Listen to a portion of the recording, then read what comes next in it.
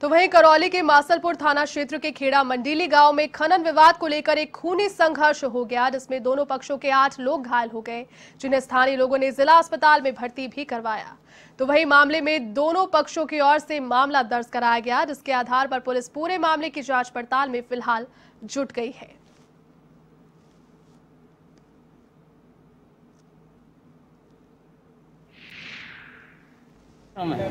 एक तो जगन गुजर